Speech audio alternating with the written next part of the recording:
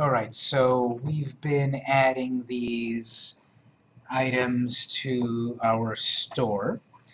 Um, on the dashboard, we've added some variations and such. And in our case, because of our particular theme, if I hover over bakery store, I get these items. Some people might think, well, the options here that I can click on are your account, transaction results, and checkout. Some people might not think, oh, bakery store is also clickable. Obviously, in our particular store, bakery store is where the products are at. It might not be obvious to everyone. As we work on our site, we know all the nuances of it, we know how it works. But there's a theory that every time someone visits a website, they have to learn something new. How does that website work? And there are conventions that are commonly used, like it's very common for the logo or the name of the site to be a, a link back home. So did you try to ever click on the name of the site? That takes you back home. We have also the home button, which takes us home, that's obvious. But that's the thing, that some people are savvy or have used websites enough that they know or have the inkling that they can click on the name and it goes home. And some people would have never thought about that. If I don't see a home button, there's no way to get home. So a little redundancy on a website is okay because it helps everyone use your website. So here under Bakery Store, we can further edit our menu to make it uh, to make it more obvious, and then we will change it so that it's more uh, powerful. The way that we'll do this is we will we will go back to edit the menu and add a new item called shop. And yes, shop will be to some degree the same thing as bakery store, but then it'll be further organized into categories of products. Right now, all of my products are thrown on this one screen here, so every single thing is just a long line of products. Page 1, page 2, page 40. It's all one long line. I have to go next, next, next, previous. I want so that when I go to the menu, I will have buy cookies or buy cupcakes or buy donuts. I want to go to the individual categories, and we can do that with WordPress pretty easily. Let's go back to the dashboard. Let's go to Appearance and then Menus. Here's what our current menu is. We've got Home, Contact, all of that stuff. I want to add a new little section, and then in that section all the categories of things that I'm selling. We can do this many different ways, and here's one way. Uh, I'm going to say right away that, um, again, we have all of these things that we could add. If you don't have all the same things that I have, most likely your screen options are different. Remember screen options at the top. Oftentimes I see that when someone sets up WordPress, they don't have here categories um, or other things. Well, check your screen options. Most likely there will be screen options that are not active because WordPress has so much going on, it doesn't activate everything. I think ours are okay because I see what I want to see, which is pages, categories, and so forth. The way I'm going to do this is I'm going to add a brand new clickable menu item to my menu. And here's the trick that I will do. Under custom links, link text, I'll, I'll write shop categories. This can be either the, the verb or the noun. The shop categories noun or the verb shop in these categories. So I've got I'm going to have a brand new menu item. But it's not going to go anywhere. When you click on it, nothing will happen. And the way we do that, under the URL, the address, is you put the pound sign, shift 3. That's uh, a little bit of HTML code that makes it behave like a link, but it doesn't go anywhere. I want the, the little hand to appear when you try to put your mouse on it. If they click, nothing happens. But I want it to be clickable so that the drop-down menu is available on the next step. So this is a new custom link. The text is shop categories. The URL is the pound sign, shift 3, add to menu. We can decide where we want to put it, bakery store, blog, shop categories. I'll just leave it at the end here for the moment.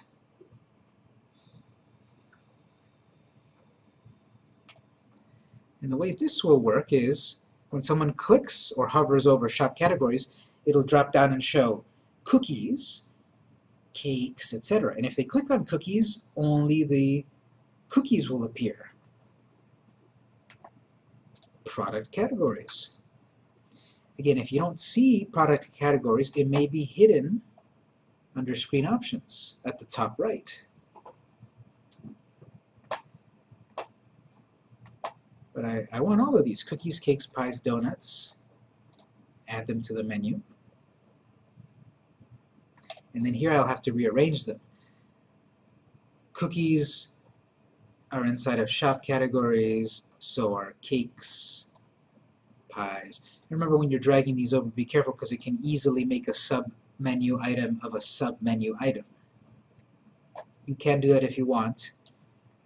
Most likely you don't. Far do these go? Look at that, I've got submenus of submenus of submenus, if you really, really want.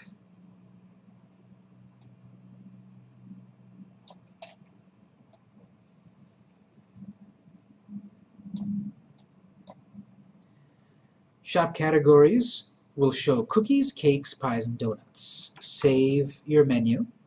Arrange those however you want.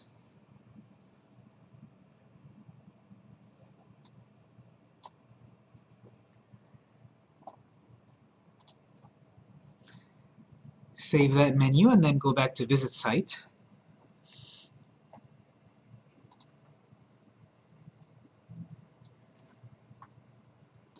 So we've got up on the menu home, contact us, blog, bakery store, shop categories. Notice I put my mouse on shop categories and it looks like I can click. And someone might click, nothing happens, that's fine, that's what the pound sign is for. Some people might not ever think about clicking that. That's fine also. It's not set up for clickability. What is set up, and might be more obvious, is then it's got these drop-downs of cakes, cookies, pies, and donuts. And if I click on cakes, all cakes show up. We've only got one so far, birthday cake. We have more than one cookie. If you go to cookies, it should show chocolate chip and giant cookie and snickerdoodle. We've got three of them, actually.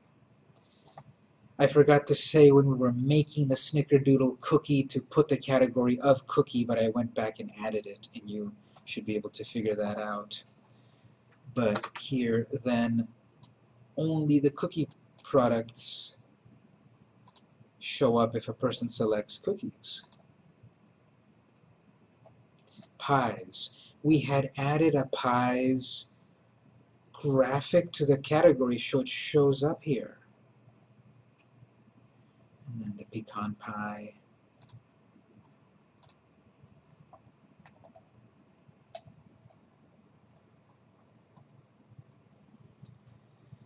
And donuts. We've only got one donuts.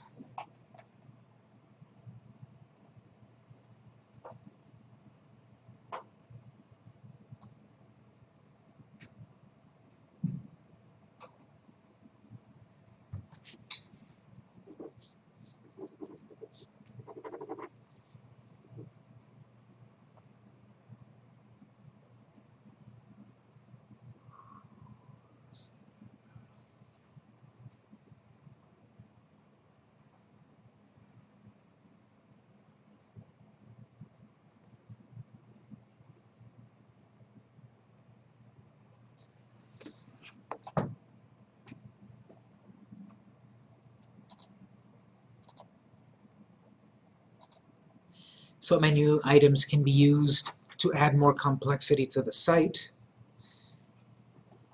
And notice we can add different things to the menu items. In this case, I added categories, product categories.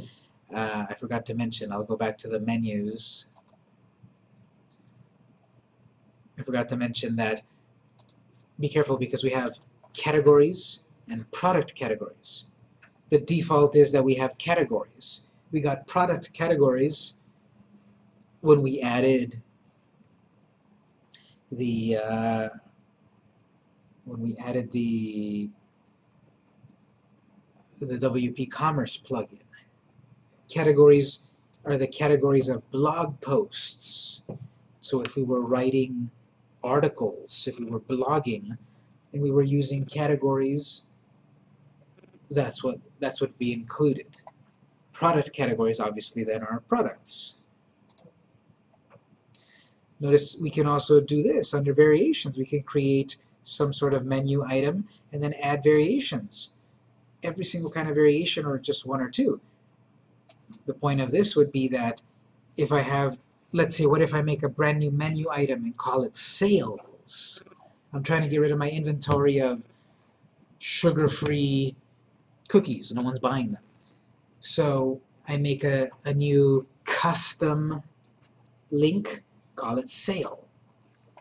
And I can add the variations sugar-free. So whatever's been uh, categorized as a variation of sugar-free will show up on that menu.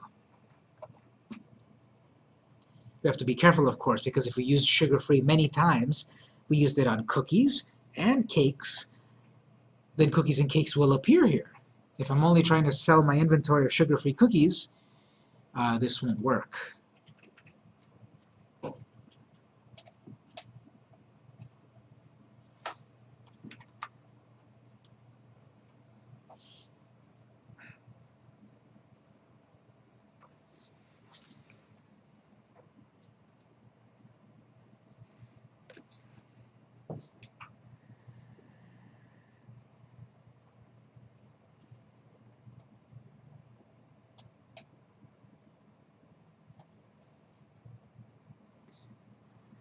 So any questions then on menus and their use, or their usefulness?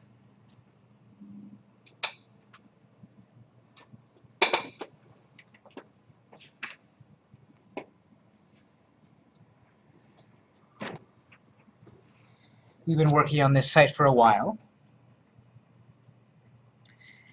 And the design of it, maybe we're getting tired of it. Let's go over to Appearance Themes a while ago, I had downloaded a theme called Satu.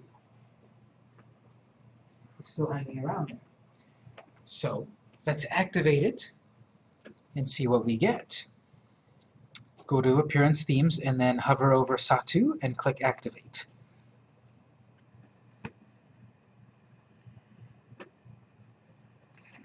Visit site.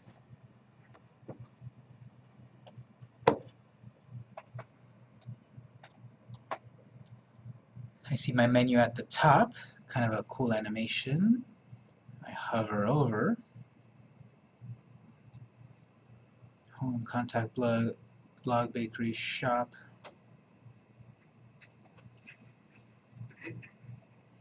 Something says home, really large. Text. I no longer have a sidebar, it's down on the footer. Text at the bottom go look at Contact Us.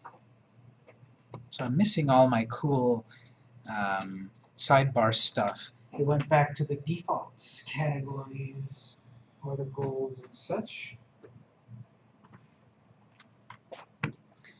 Let's see, how does my bakery store look like? Notice I rearranged the order of things a bit. Uh, no, never mind, it's the same order, it looks like. I can go to bakery store and then a big old products page that needs to be edited. This is going to depend on the theme. Maybe the theme itself has some cool design that we can tap into. We'll see in a moment. Next page, previous page, products.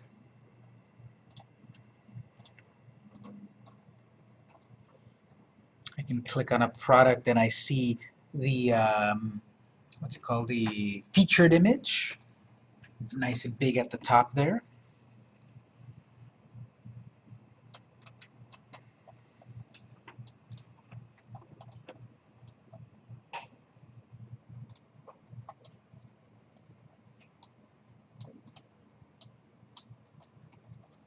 So what I'm getting at is we can easily switch between themes, but we still probably have to massage it a little bit, fine-tune the results. So let's explore that a little bit. Um, let's go back to the dashboard, find my Satu theme. And what we have, what we could do is we could do things manually to some degree, or we can do things guided. Manually means I would go to Appearance, and I would go in and edit the widgets and the menus, the background, all of that. That would be manual. I can go in and, and go to each individual section and make changes. Guided is right here under Customize. Let's try this. Hover, hover over Appearance and select Customize. This will show you like a live version of your site and some things that can be changed on the left. The theme, for example. Site identity, here's a few things that we can change. Title and tagline and fav icon. Colors, that one's not too interesting, but there's a spot there to change a little bit of background colors. Notice where it changes. None of these changes take effect until you click Save and Publish. I haven't done that yet. Header image. Um, this is saying if you have an image of 1280 by 360, this depends on the theme. This particular theme takes it on this size. Other themes will be different, so always check what yours says. But uh, I think I have a, an image or two to, to work with. Uh, I'm going to borrow um, the koala, I guess. Says what size skip cropping, crop image.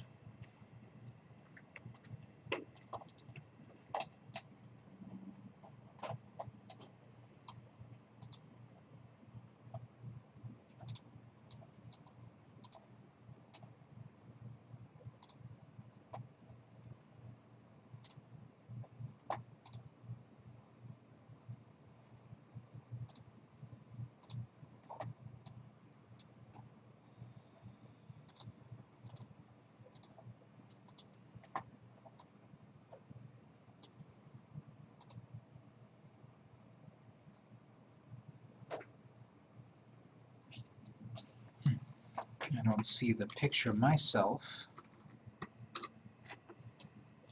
Might be too small, so it doesn't quite show it up very well. Background image, uh, another picture to add. If there's a description, it'll tell you where it appears, but I guess I'm seeing it behind my text. Looks a little weird. How can I set it up. Again, you can customize that. Menus have already been set up. Widgets, okay, so footer sidebar. I wouldn't call it a sidebar if it's at the foot. But it's down there, and those are those items that I don't want down on the footer.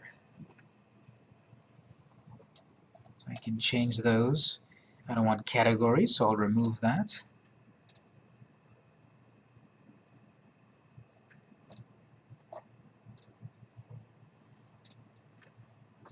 Static front page that was set previously. So if I like any of these changes, I can then click Save Publish. I can further also test what does my site look like on different devices. More and more people are using mobile devices instead of a desktop computer. So it would be nice to see what does your site look like. Is it responsive? Does it look good when it's on a small device?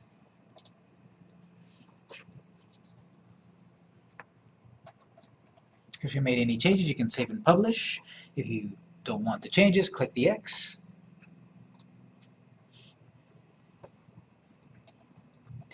Depending on your theme, you may also have some other menu item. Besides customize, you may have a separate menu item where you have more customization of your theme. I don't think I see that on, on this particular theme. Sometimes they hide it in a sub-menu item. Usually they're pretty obvious. I might say theme options, maybe the name of the theme. Let's say the theme is called Unicase. It might say Unicase options. So depending on your theme, hopefully you have a menu item where you can further edit as a guided customization.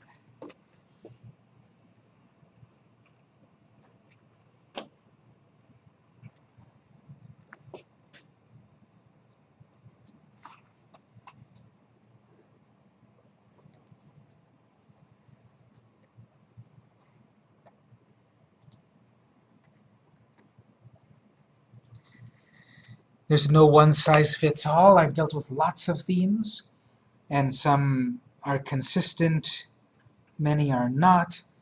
But what is consistent is that they often come, if they come from a particular design studio, then they're often consistent.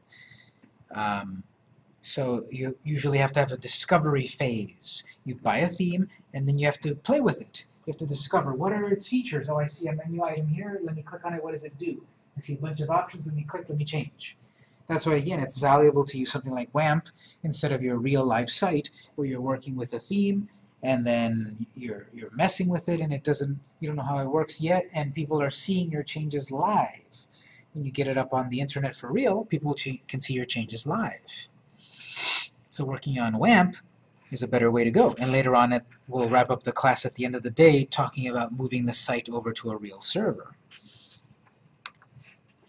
We're not quite there yet. We still have a little bit more to talk about regarding customization. So we've got the guided one. Any questions on that? It's going to depend on your particular theme. If your particular theme doesn't have a spot, if it doesn't have some sort of friendly button for you to click on, you can't do it. Like I would like to change down here proudly powered by WordPress theme Satu by Satrya.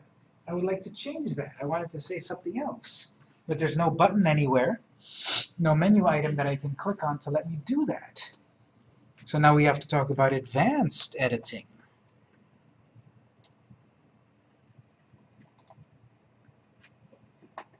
Let's go to Appearance. Let's go to Editor. We've touched on this a couple of times before, I think. And now we'll look at it a little more deeply. Appearance, editor.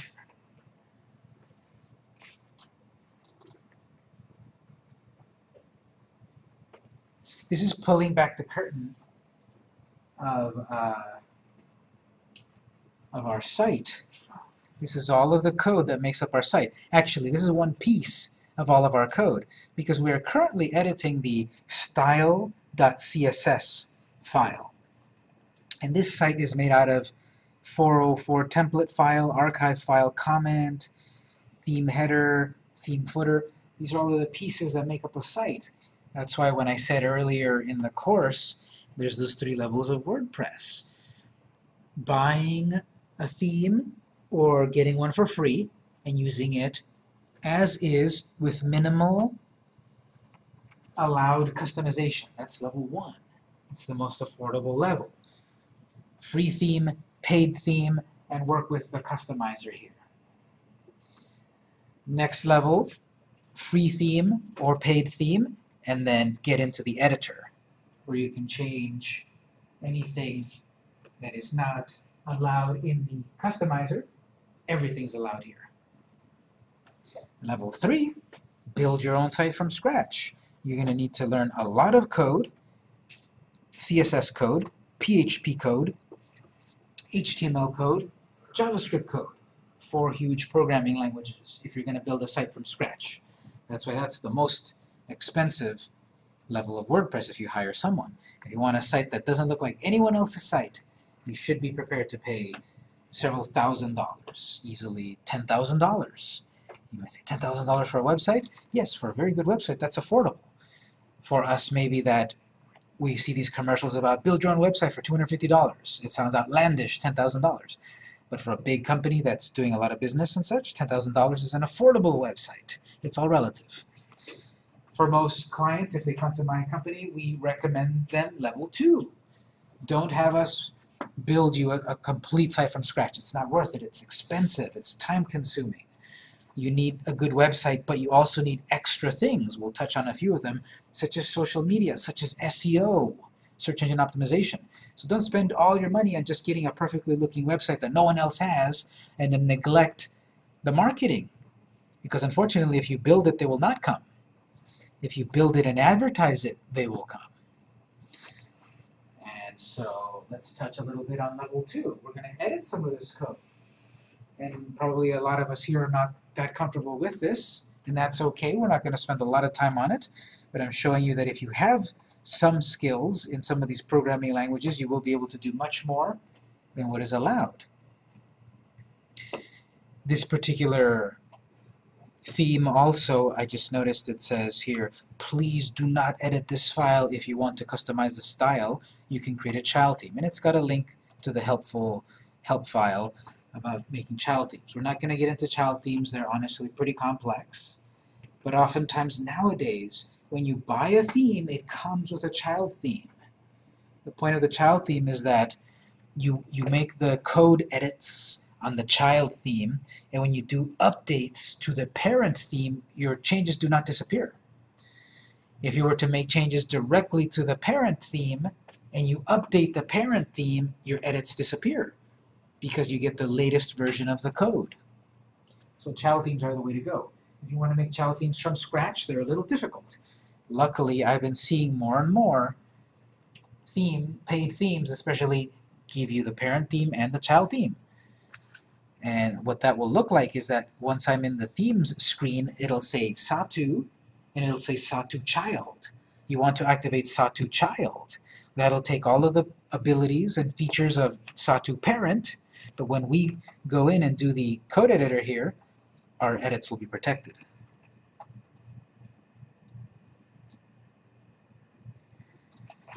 On the right side, we see that the site is made up of various files. We've got a 404 error page. Let me see if I can bring that up. Let's say I want to visit a site, a page on our site that doesn't exist. We have right here, oops, that page is, can't be found. That's the 404 error page. If I don't want it to say that, if I want to say, we're sorry, um, what you're looking for is not here. If I want to edit that, there's no button anywhere in the customizer here that'll let me do that. Wait a minute, if I go to the 404 template file,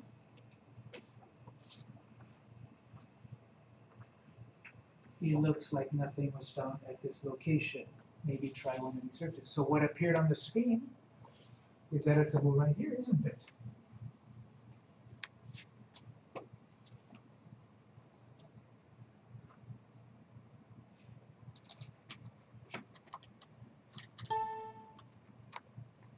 And it seems to be a little more complex than that because I don't see the words oops in the actual code here. I did a quick search.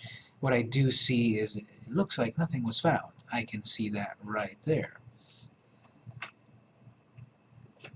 It might be over on the theme functions. This is another complex, usually complex file.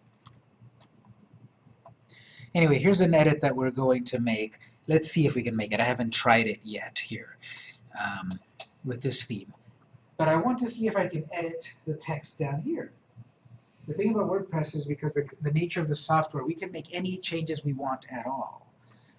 Any change because this kind of software is open source. In this particular case, we can make these changes. Whereas other things, we wouldn't be able to make the changes. So the, the text down here is most likely part of the footer file of the site. Notice here. If you look, we'll see theme header, theme footer. Most likely that text is in there. We'll see how it is. Let's try to Click on theme footer. see a lot of code here, not not that much, but if you're not familiar with this, it's a lot of code. A little hard to, to, to work with. If you deal with any coding on a regular basis, a real code editor with color coding and such is much better than plain black and white text. Um, because it's easy to lose track of what code you're working with.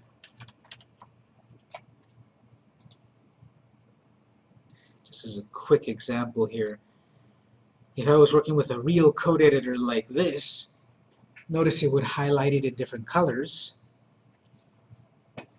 so it can help me understand what I'm looking at. This is much better than the built-in WordPress code editor here. And I think really this is one of the forgotten areas of WordPress. They keep updating WordPress and making it better, but this has been here like for years and years and years without much improvement. There's no undo button. There's no code highlighting. There's no line numbers. On a real code editor like this, I have line numbers that I can easily jump to line 20 and make a change. Notice how these colors show up like this to show you, well, this particular code is this, means this, means that, this green color means this, etc. Here it's plain. It's hard to work with.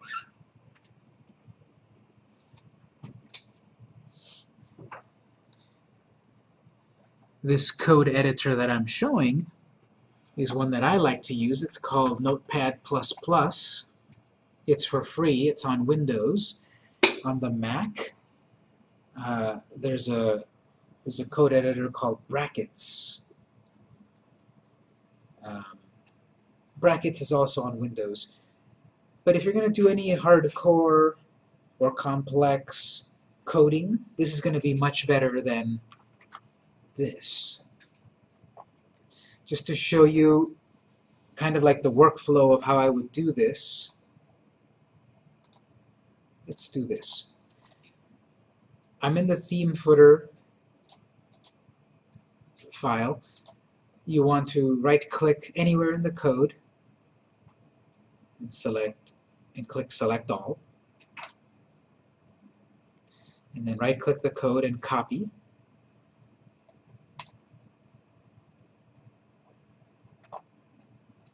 Go to your Start menu and search Notepad++. Not Notepad, that's a plain text editor that is not very useful for what we need. Notepad++. It gives us this, this editor on the top left corner. There's a little icon with a plus symbol on it for new. click that and then right click paste. It brings me all my code. Well, it's still black and white. It's still not as useful as this code here. That's because Notepad doesn't know what language this code is until really I tell it. So I pasted the code into Notepad++. Then I go to the language menu we got this out of the footer.php file. Language, P, PHP, and now it understands, oh, this is PHP. Color codes the, the different codes. It's got these little lines that show you this code connects with this code. If you click on this code that says footer, it connects with the top part of footer. This is completely optional, but this is going to be a little easier for us than working with this. This doesn't even have word wrap, or it's a, I mean, it has word wrap, it, it doesn't even have, you know, a good amount of space. It, it, it made the line cut off. Here in Notepad, the line is full, full length.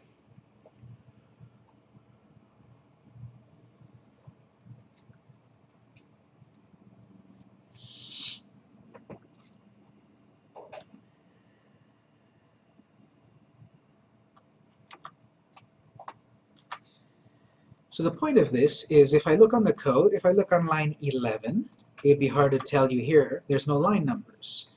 But if you're here in Notepad and you look at line 11, there's a lot of gibberish, but then I see proudly powered by Satu. WordPress. Theme by Satu Satu Satrya. I'm if I don't know any of this code, that's fine because I know what this regular English text means. Proudly powered by WordPress and a web address. Theme by, and then a web address. So what we could do, we have different options. I could completely remove all of this. The easiest way would be to select lines 11 and 12, 11 through, 11 through 13,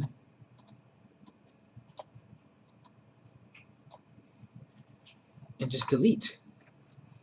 Then it would no longer say those items. So um, don't do this yet, but let me show you. If I deleted those lines, then I would need to copy the code from Notepad and paste it back into back into WordPress update file.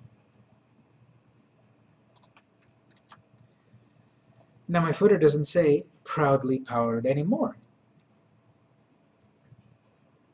So you see the workflow is that I have this code, I edit the code, I update my file in WordPress, and then it changes on my site.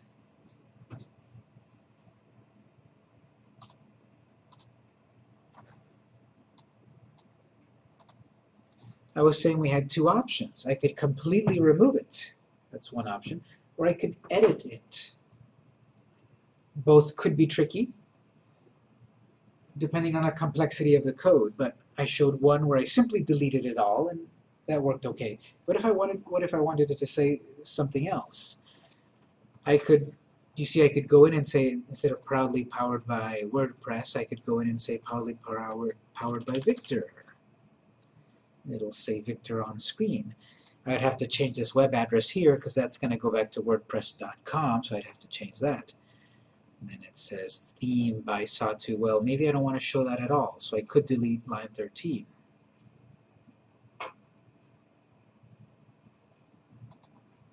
Before we go further. All of these edits, I'm making these changes. And in Notepad++, Plus I do have undo and redo at least. I don't have that. I don't have that here in the WordPress editor at all. It's make changes, save changes, that's it. I can't undo. Well, actually, if I do type something and then hit on my keyboard Control Z, that is undo. There's no indicator of that, but if you know Control Z on the keyboard, that is an undo. But the problem is that if I then do update and then try to undo, can't do it anymore. So again, this is very limited. On the one hand, it's very limited because it, it's not a good editor. But on the other hand, it's very powerful because you can edit anything on your whole site. If there's no pretty button for it, it's in here somewhere in the code. And so if I copied my code over to someplace else like Notepad to make changes here where it's nicer, undo, redo, color coding and such, that's better. But I still have to think about, well, what if I made these changes here, and I move the code back, and I, later I decide, well, actually, I didn't want to lose those lines of code. If I don't have my undo anymore, I lost my code. So what's useful about something like Notepad is that I can create more files. And here I've got a copy of my code in one tab, and a copy of my code in another tab, and these are separate. I can edit this tab here as much as I want, and it won't interfere with the other tab. So I can make changes to this one, make mistakes, and I have another copy of it here. Notepad is also cool because if I close it, whoops, I never saved it. No, no problem. Notepad remembers. Anywhere else, if I didn't save it, it would have been gone. But Notepad stores all of this basic text pretty easily. This has saved me, this is, uh, me with 15 years experience, this has saved me a few times as well. Working on my code, uh, I close the file, I go off to do other things, whoops, the original code is corrupted, good thing I still had it in Notepad.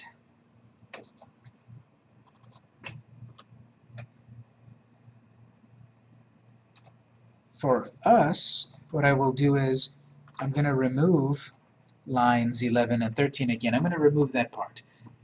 So we, will, let's give this a try. Do remove both of those lines. And instead I wanted to say something completely different. I wanted to say copyright.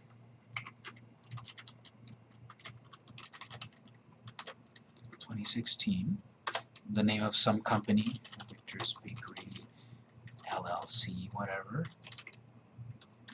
All rights reserved.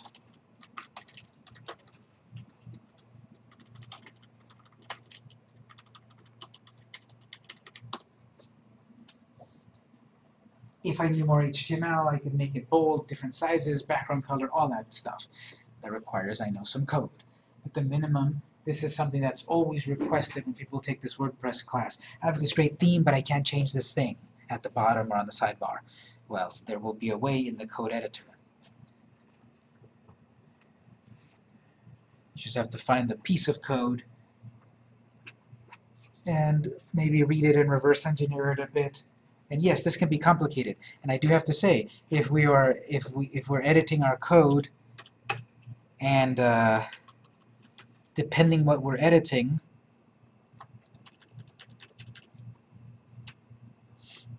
let's say I'm about to delete this stuff and I go a little too far,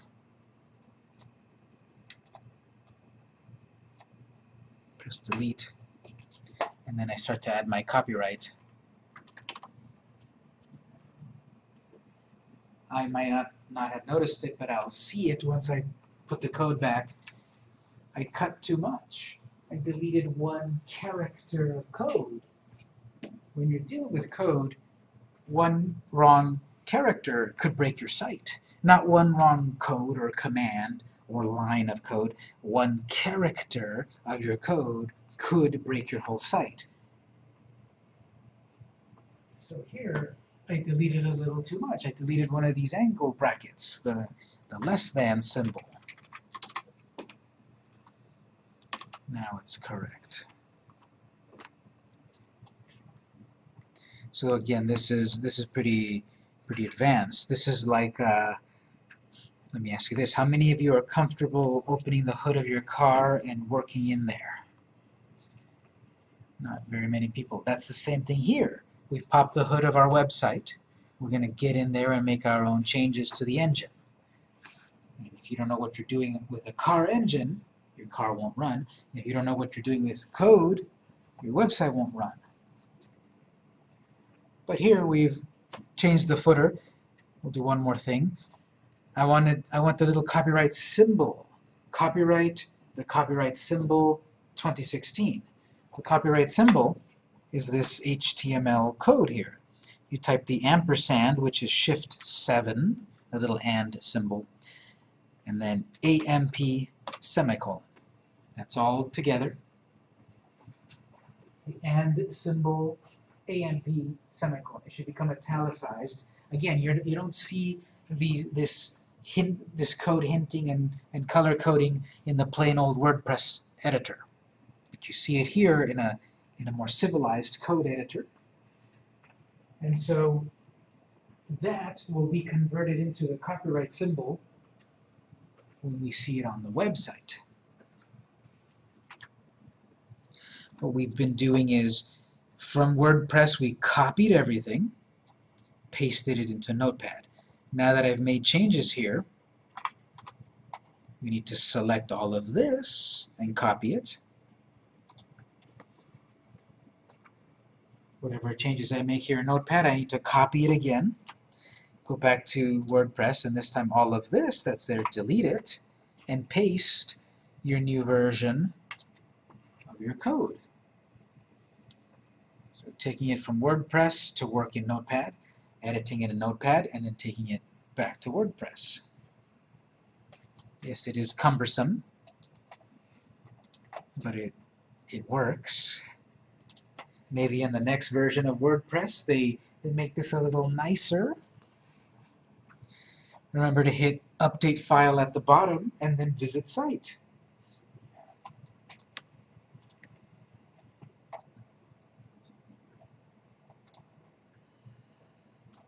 Look on the footer.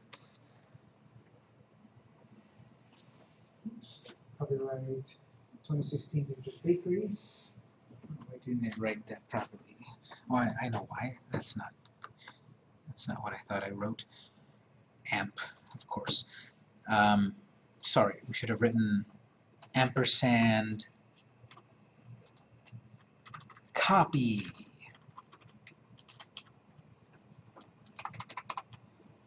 That just created the ampersand symbol. Ampersand copy semicolon. That will create the copyright symbol. Sorry about that. There's lots of these symbols. And this one creates the copyright symbol.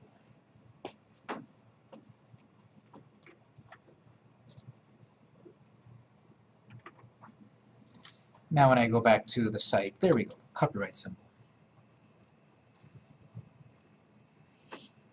We can look up a list of all of the possible codes. What if I need to use the trademark symbol?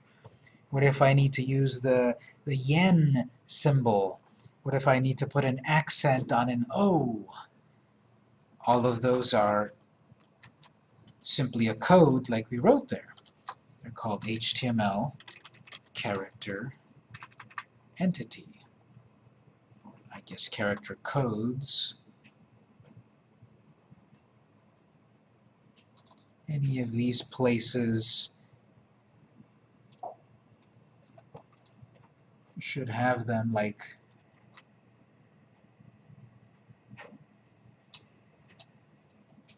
like here if I want to do the one quarter I want it to look nice, one quarter. I have here ampersand frac 1 4 semicolon. And it'll make the the one quarter symbol. If I wanted to do the inverted question mark, if I'm writing something in Spanish and I want the upside down question mark, I can write ampersand iQuest semicolon, and it's the inverted question mark. Here's the list of the different accented letters. So if I'm writing something with, with accent marks in, in, in Spanish and such, they're listed there. If I'm writing in, you know, Swedish or Norse languages, I suppose, German,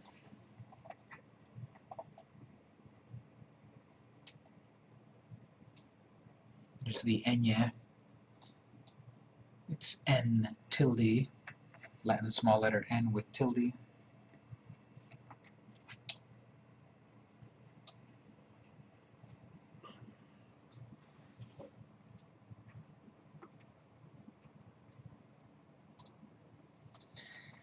You can find this in lots and lots of websites. Notice I did a search.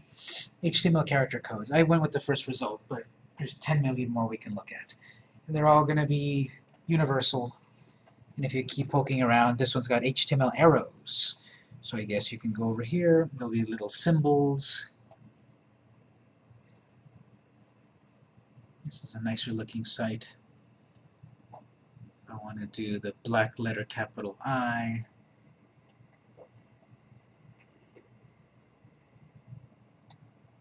It's right there.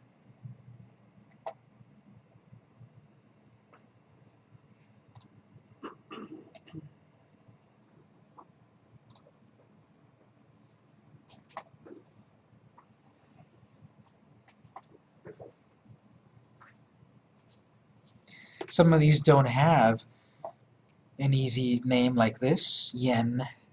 Ampersand yen is obviously yen, and ampersand euro is euro. But if you wanted to do rubles, there's no, or sorry, Indian rupee. Um, If you wanted, there's ruble. If you wanted to do the rupee, it, there isn't one with a name, but that's the same one right there, HTML code. If I put that, it'll be the rupee.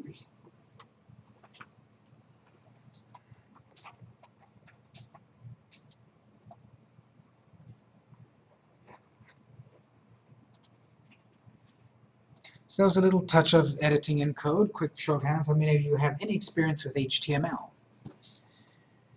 So very, very few people. So we're not going to spend a lot of time on that. That would be for like WordPress Part 3 class. But uh, you can take plenty of classes here at, South, at, at this college here where you can uh, learn much more coding uh, to get really good at it and such and more complex. But usually for most people, uh, getting a theme, either free or paid, will give you a great site. Once in a while, you can poke around in the editor to give you more detailed customization. But you'll usually be okay under the Customize screen or the theme-specific customizer.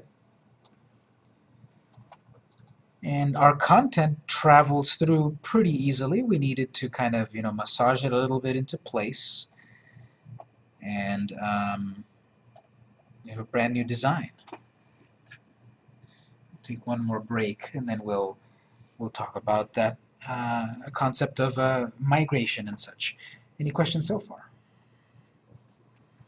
Alright, so we'll take a break, then we'll talk about uh, a couple more things and then uploading it to a real server.